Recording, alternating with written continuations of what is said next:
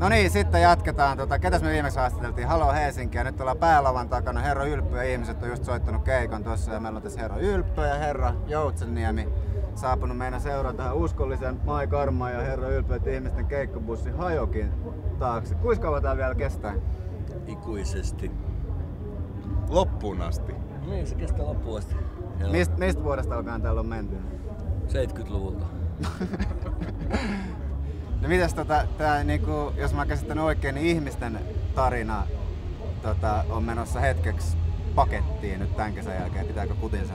Joo, nyt jäädään tauolle ja pidetään tää festivaalikesä tässä hauskaa. Oli helvetin nastaa tänään soittaa tuolla. Joo, ja se tauko kestää joko pitkään tai ikuisesti. Niin. Janne tuli vähän kesken reissun tuossa matkaan, niin tota, millainen reissu tää on ollut? Sä olit siirtynyt Live Nationille vähän niin kuin toimiston puolelle hetkeksi, nyt sä ootkin täällä ja Stonenkaan keikoilla. Miten tästä näin kävi? No, vahinkoja sattuu ja elämä on seikkailu. Sitähän se on. Ei suunnittele hirveästi etukäteen ja tarttuu tiettyihin houkutteleviin mahdollisuuksiin. Niin, ja sehän on elämän suola. Et asiat ei mene välttämättä just niin kuin on suunnitellut, mutta sen takia mä en juurikaan suunnittele. Ja tää on ollut helvetin hauska reissu. Tää on ollut todella mukava, koska tässä bändissä on selkeästi kuitenkin niinku vastuunkantaja. Ablunkuta vaan basso. Tätä, mikä on rock, rock'n'rollin tola Suomessa tällä hetkellä? No kai se aika paskaa. Kui? No ei mä mitään uusia mielenkiintoisia bändejä hirveästi tullut. Mut, mm, mä luulen, että, että, että noin nuo, nu, meitä nuoremmat, parikymppiset, niin niillä on paljon avoimempi katse. Et ne, siellä sama tyyppi voi diikkaa hip-hoppia, mutta myös niinku rockmusaa ja ihan mitä tämä. Mä luulen, että siellä, on niinku, siellä ei enää niinku tunneta semmoista genre-hommaa. Niin ja eikä sen tarvi olla sitä, että, että rock olisi sitä samaa, mikä on jo tehty aikaisemmin. Se, Mm. Kaikki tämä, mitä nyt tällä hetkellä tää olisi sitten rappi tai EDM, mitä ikinä, niin se, se voi yhdistyä ja syntyä rockiksi. Toisaalta mä ihmettelen, että minkä takia se nuoriso kuuntelee jotain vittu Kaija Koota.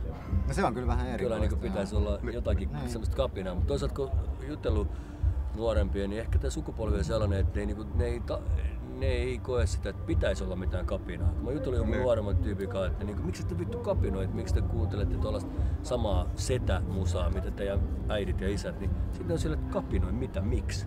Tää on tätä, sillä on jäänyt mua vähän pohdituttanut. Mä ajattelin kysyä sen nyt tällä julkisesti tota, Sound- Soundi TVn puitteissa.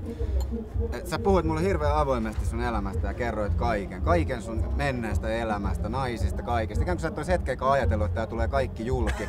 Sä hädin tuskin vaivauduit lukemaan sen kirjan ennen kuin se tuli kauppoihin. Sulla on kuitenkin ollut kymmeniä tuhansia levyjen ostajia.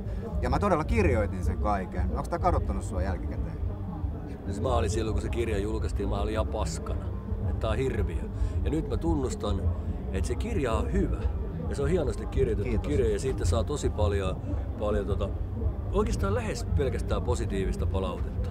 Ihmiset pitää nyt siitä suunnattoman paljon ja, ja niin kuin ahmineet sitä, niin kuin sanotaan.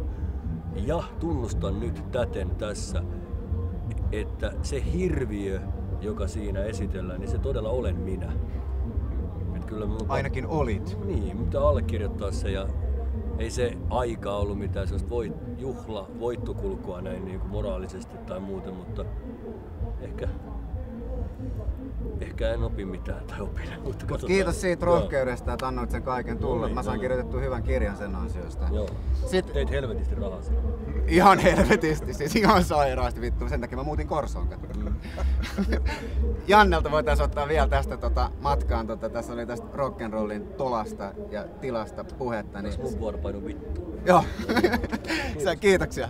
Sa- Santa Cruz sit, tota, mennään vielä moikkaamaan tuossa ja tota, kaverit pitää kuitenkin tätä rock'n'rollin tolaa ja tilaa Mm, jo- totta, jollain totta. tavalla yllä, niin tota, voisitko heittää meille matkaan jonkun kysymyksen kavereille? Öö, Saa miettiä ihan rauhassa. tota, tota. Joo, joo. Tota, Santa Cruzilta semmonen kysymys, että mitä sitten jos tukka lähtisi päästä? Mitäs sit, jos tukka lähtis päästä? Näillä mennään. Kiitos paljon, Janne. Ja siellä oli kamera, joo. Kiitos Janne, kiitos Ylppö ja Santa Cruzin kanssa jatketaan kohta.